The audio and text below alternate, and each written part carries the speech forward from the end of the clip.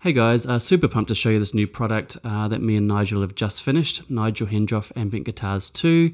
Um, like the other version, we've got an M4A and we've got a Waves uh, version, or WAV version, I should say. Um, there's also a Mainstage template version with it all pre-installed as well. Um, the M4A and the WAV version will also come with a bonus Ableton template. Um, it doesn't mean you need to own Ableton, but it means that if you do, um, you've got a bonus template in there as well. Um, just quickly, I'm just going to go to my website or the Multitracks website um, and just explain something just really quickly. If you're searching by software, you'll notice that um, under the Ableton software heading, there's only three here, but there's actually more that are kind of hidden away.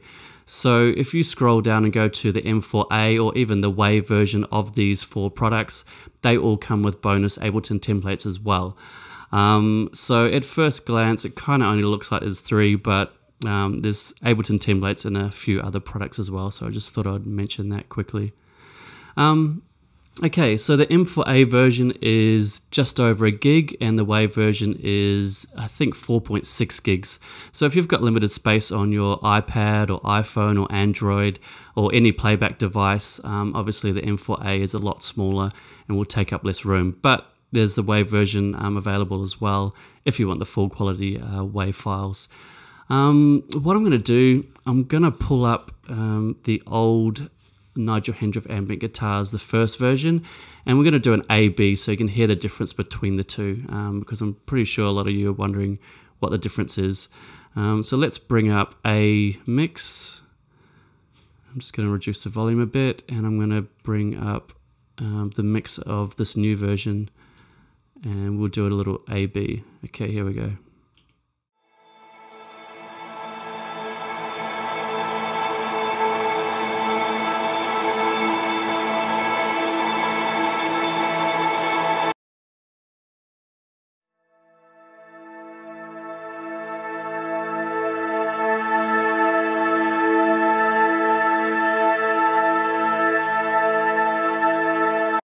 As you can hear, completely different tones. The first one has a prominent picking uh, string sound to it, and the second one was actually created with different reverb pedals and reverse delay and uh, looping features to create an ambience without um, that pick sound. So they actually work really, really well together. Um, you can mix them in your DAW.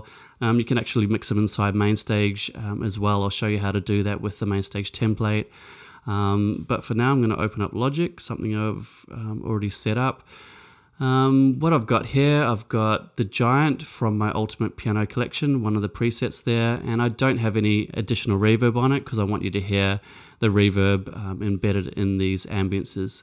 Um, so this is just a mix from the Nigel Hendroff Ambient Guitars 2, um, just mixed in with a piano. So here we go.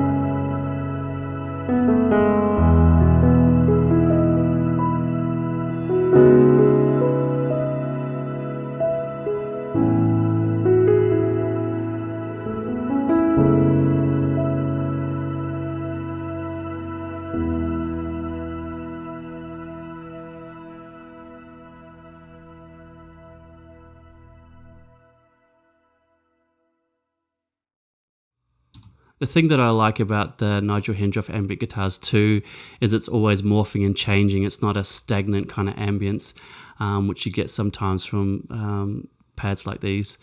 Um, now I'm going to mix in E high and E mid from the original Nigel Hendroff ambient guitars um, and show you how they work together.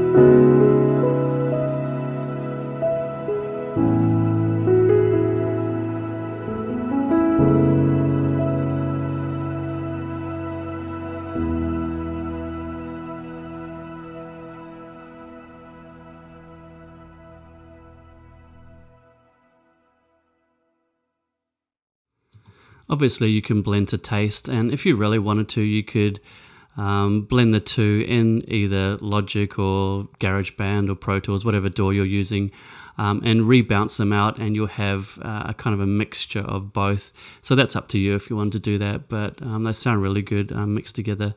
Um, another thing that people have asked me is, can you make these ambiances longer? Um, so these uh, new ones actually 12 minutes. The old ones were seven because there was so many different files. Um, but it's really easy to make them longer. Um, you can do it in any DAW, like I said before, Pro Tools, GarageBand, Logic. Um, so the easiest way to do that is to select your cutting tool. Make sure um, you cut it after the fade in. Um, select it, copy, Control C, go to the end of the file, paste it. Um, now I'll go back to the middle there. Okay, I've already kind of done this before, so it's already recognized um, that. Take out the um, fade out at the end, um, put them together, and then do a really long crossfade. Um, whoops, where's the crossfade tool? Here it is. Um, there we go. You can make it as small or as large as you want. Um, a relatively long one's probably good. that way you won't hear it when it crossfades between the two. And if you're using another DAW like Pro Tools, um, just make sure that the crossfade's set on equal volume. Logic defaults to equal volume crossfading, but I don't know about all the other DAWs. Um, so I'll just play that um, and see if you can hear um, it crossfading. You shouldn't be able to. Um, it just sounds like one long ambience.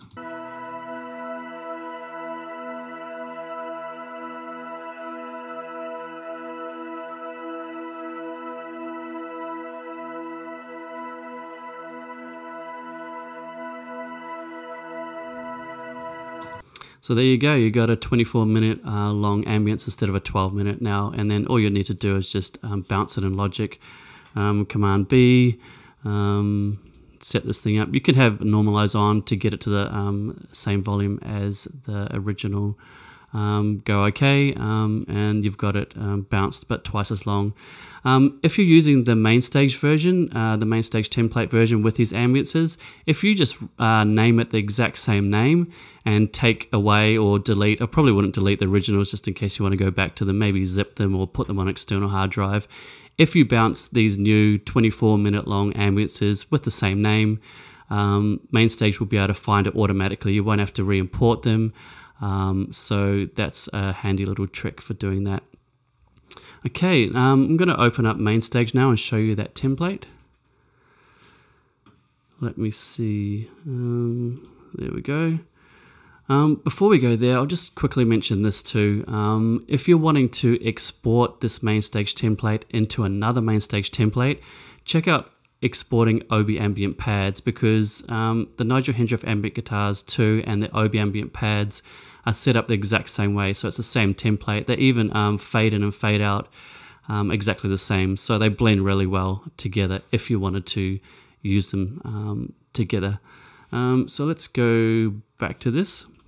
I've already explained this before in my Obi Ambient Pads video, but I'll quickly go over this. Um, obviously, you've got all 12 keys. You've got a pad mix, which is mixing between the low and the high of these ambient uh, guitar pads.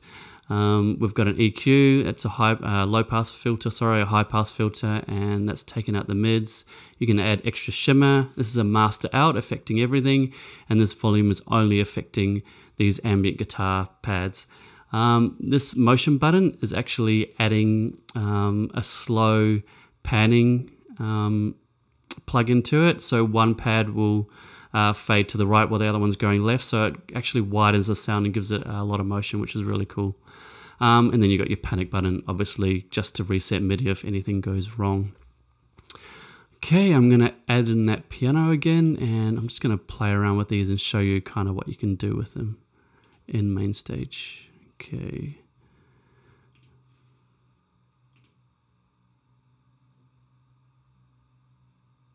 Okay, I'm just going to play a couple of short uh, pieces of music. I'm not sure exactly what I'm going to play yet, but um, yeah, let's see what happens.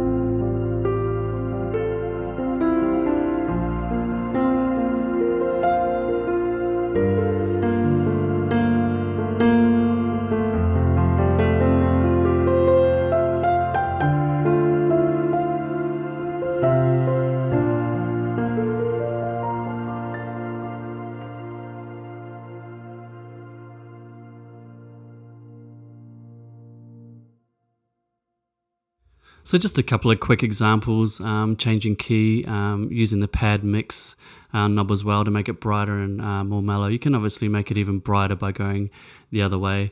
Um, just before I go, I'm going to show you this little handy trick. So I'm going to grab the A mix from the original Nigel Hendroff ambient guitars and I'm going to replace um, the low of the new version. So all you need to do, drag and drop, and wait for it to load. Um, it's already loaded. That was quick, I think, because I've done it before.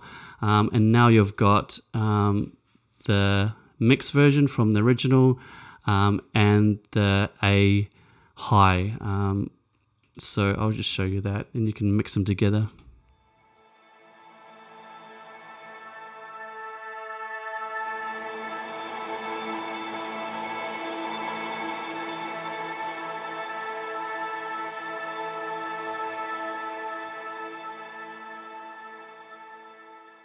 So there you have it. You can kind of mix the two together. You could even have um, just A, for example, with the um, old version and then the um, new version on E, and then you could bring in the OB ambient pads and have it on a different one. So your set could consist of multiple uh, different ambient pads for different song transitions.